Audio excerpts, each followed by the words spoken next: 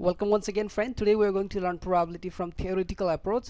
In previous videos we learned the probability in practical way and uh, while learning in practical way what what we had exactly done uh, we did a lot of experiments. And in ex uh, in experiments we did a lot of trials right? And what we observed that how many number of trials there are in which uh, the event any event uh, happened. And then uh, such events are divided by the total number of the trials. And then we find that probability of any events in any experiments. And we define something like this probability of happening event E is equals to uh, you can say a number of trials. Number of trials in which in which event this this event E happened right? Event in which E happened to the total divided by the total number of the total right? Total number of events. Total number of events like this we we, we find out the uh, probability in previous videos right? Now we're going to learn the probability in theoretical approach. Theoretical approach is not uh, not much more different than the this uh, practical way. Uh, you know sometimes uh, we often say this theoretical uh, probability as a classical probability also. You can say this classical probability also. Probability. Right? And it's not uh, not that much more different than this. It's the same thing right? Uh, it's something like this. Uh, let me tell you. Before learning classical probability one one thing I want to tell you here that here whatever the experiment we are getting in question or uh, any experiments we are doing right? All the experiments have equally likely equally likely outcomes. All the experiments have right? All the experiments whatever the experiment we do experiment right? In every experiment all outcomes are equally likely. All outcomes are equally likely. Equally likely. What I mean to say that something uh, suppose I have a coin uh, like uh, suppose this is my coin and uh, one more coin let me make here. It's not another coin it's the same uh, coin and I'm giving one head. Suppose this is the head part of the coin and this is the tail part of the coin right? And when I will toss this coin when I will toss this coin so probability you know uh, the possibility of getting head and tail. Whenever I will toss this when I will freely toss this coin the percentage of getting head and the percentage of getting tail are equal right? Every time I may get head I may get tail. So both have the equally you know likely outcomes. Means getting head is exactly equals uh, to the getting tail. So this is something like this you know equally likely experiment something uh, outcomes are something like this you know. All outcomes are equally likely you know likely. Uh, so something it is something like this. Uh, in another way if you look uh, like something suppose I have a I have a uh, box something like this okay? And in that box there are uh, suppose five marbles. This is yellow marble and another is green marble and another is red marble suppose. And another I have white marble. And another I have blue marble.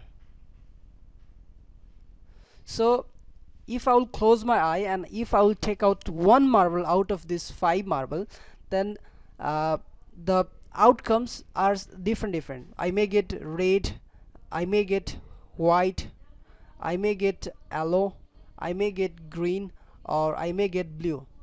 So getting red white yellow green and blue all are equal you know.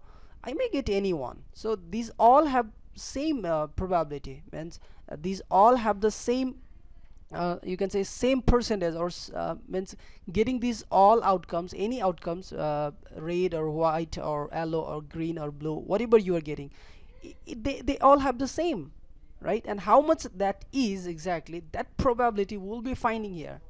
So that about that we'll be talking later. So in in this kinds of uh, experiments actually we use this uh, probability we, we learned this probability in this kinds of uh, experiments. So from this time onward any experiment we do in this uh, probability chapter we assume that every experiments have equally likely outcomes. Means all outcomes are equally likely. Okay?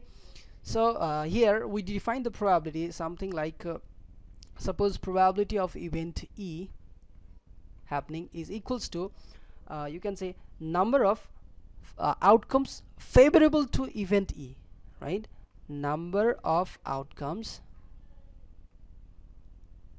number of my handwriting is really bad.